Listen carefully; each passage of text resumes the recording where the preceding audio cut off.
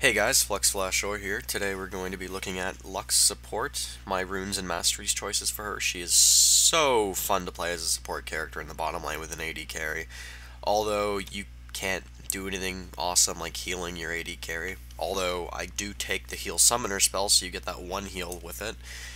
You just, you can't do anything else, fuck.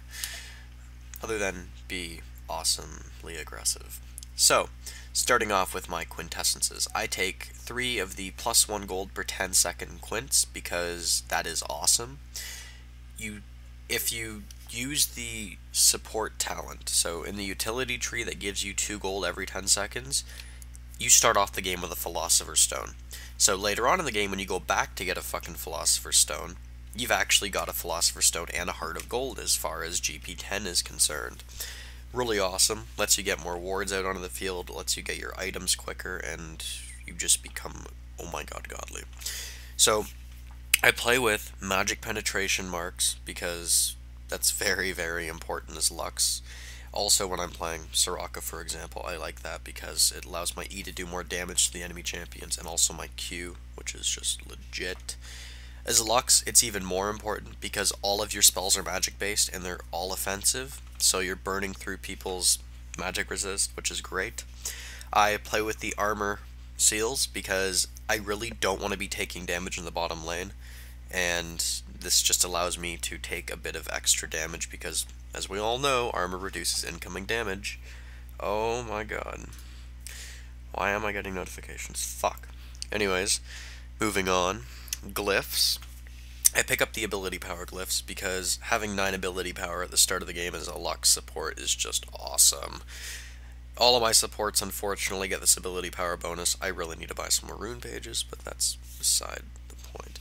Moving on to masteries. For Lux support, I play with 9 talents in the offensive tree and I play with 21 in utility. I go far enough into offense that I can pick up the magic penetration by 10%. I also get 4% cooldown reduction because CDR on Lux is insane. And of course, I pick up 4 ability power, which is awesome. Now, in the utility tree, I pick up the flash reduction, which I always run flash and I run heal when I'm playing Lux support. I want to be able to pick up this for the increased heal by 10%. Unfortunately, I would have to give up either reducing the cooldown of summoner spells by 15%, which is important if you're taking the heal one, because 15% on a, like, what, 6 minute spell is fucking insane. So, I unfortunately want to keep my magic penetration, so I can't get the increase by 10% heal, but that's okay, because if you're playing with Lux support, you shouldn't be overly aggressive anyways, you should let Lux do all the retarded stuff. And hopefully Lux knows how to get out. I pick up the reduces time spent by dead by 10% because there is nothing better to go through here. I I don't need the movement speed, I don't think, and the vision rate of vision range of wards is kind of meh worthy.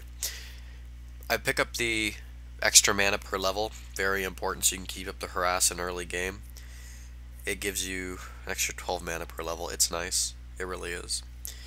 Then I pick up some mana regen. I only go 2 out of 3 into this because I need to move on to the next tier somewhere, so it's worth it. I pick up the 2 gold every 10 seconds, of course, like I was saying before in the runes area, because I have the quintessences and this. I end up with the Philosopher's Stone at the start of the game, minus the stats, of course. Now, increased experience gained by 5%. Why do I have this? Oh my god. Uh, don't mind me, guys. okay, this experience gain talent, completely fucking useless. I'm going to be changing that to wealth because increased starting gold by 40 is awesome. It allows you to pick up an extra pot or an extra ward depending on what your items you buy are. And I'm going to move to... Uh, let's see, I'm going to put another talent into the meditation, so I'm gaining an extra mana regen per 5 seconds. Really important, so you can keep that harass up. Of course, cooldown reduction is god on Lux, so I'm going to pick up the intelligence talent here for 6% extra cooldown reduction giving me a total of 10% at the start of the game, which is awesome. And for the final one, I am going to take Spell Vamp. Why the hell not? And of course, Mastermind to reduce the Summoner spell cooldown by 15%. So, that is my Lux Support Masteries. I can't believe I was specced into the Experience Gain talent. That is so bad. Thanks for watching, guys. Hope you learned something today. Peace.